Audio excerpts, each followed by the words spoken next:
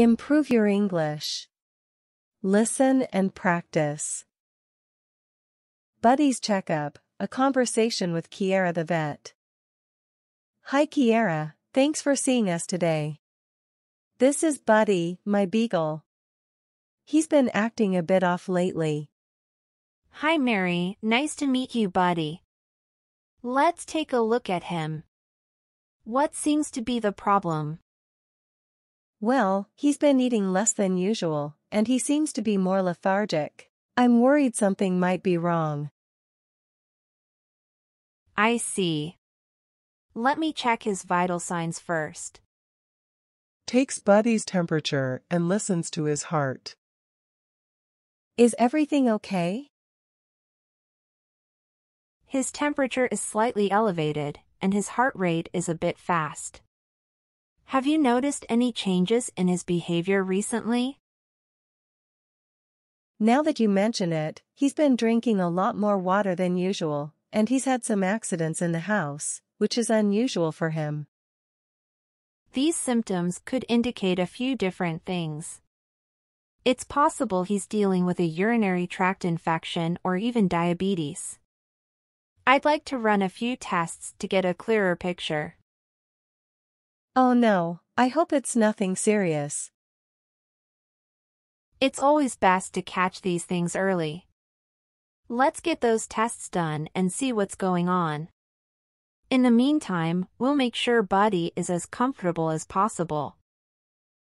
Thank you, Kiara. I really appreciate your help. Of course, Mary.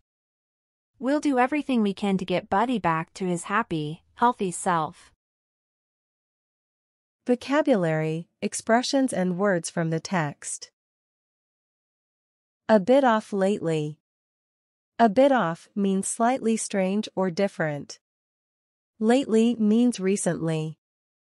So, this phrase indicates that the dog has been behaving somewhat strangely recently.